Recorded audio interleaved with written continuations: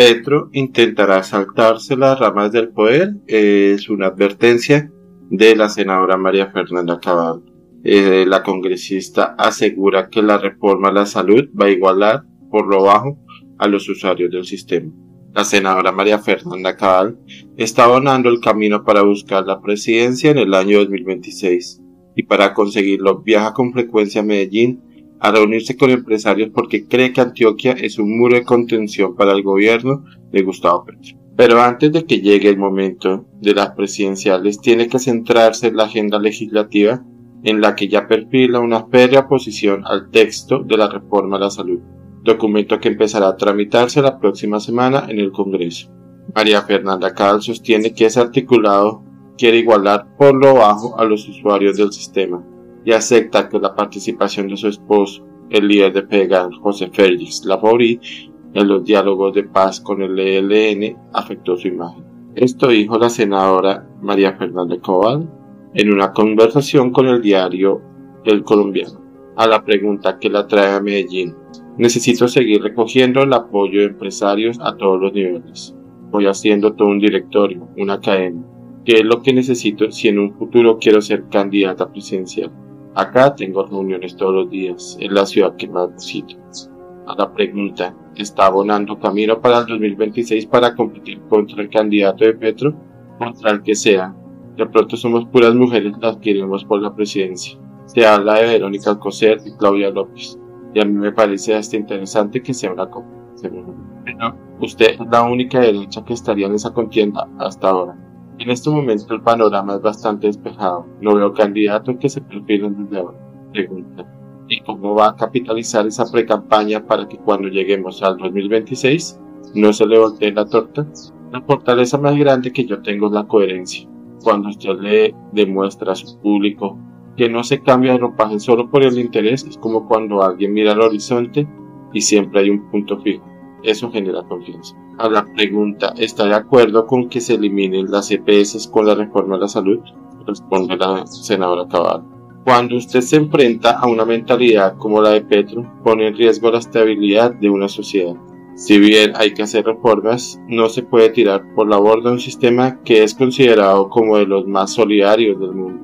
Va a someternos a unos cambios para los que ellos no tienen la preparación suficiente. La reforma es muy parecida al Chávez de barrio adentro con sus médicos cubanos. Es una reforma con la excusa de igualar a todo el mundo por lo bajo. Va a terminar arriesgando la posibilidad que tienen hoy quienes tienen un CISBEN de ser atendidos. El presidente afirma que 11 millones de personas ya votaron por la reforma de las urnas. Petro quiere pasarse por encima al Congreso con su reformatón, donde la senadora.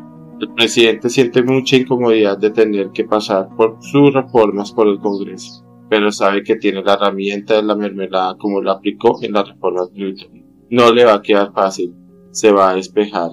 Tiene a unos ministros bastante incapaces y todo esto le va a generar un desgaste. Si a todo esto le suma abrir siete campos de batalla para que quiera aplicar una reforma, va a generar resistencia.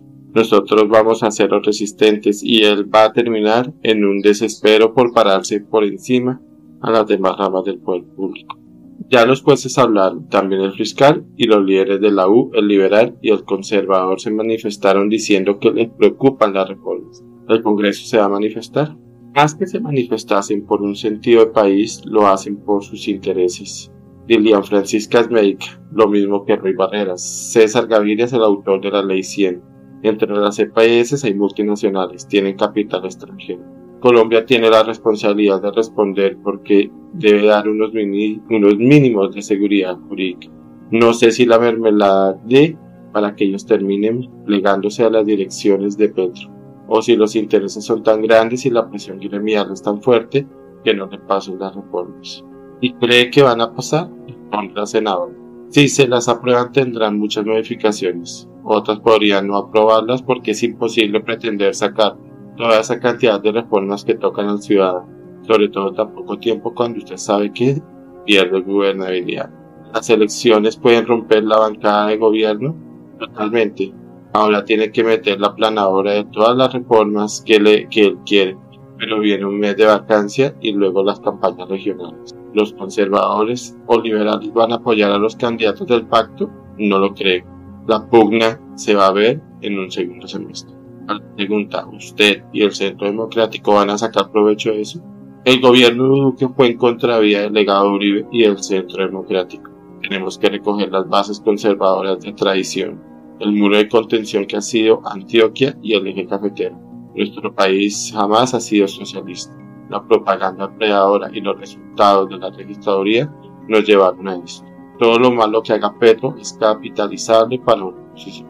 Todo el legado de Uribe, ¿quién lo tiene en sus manos?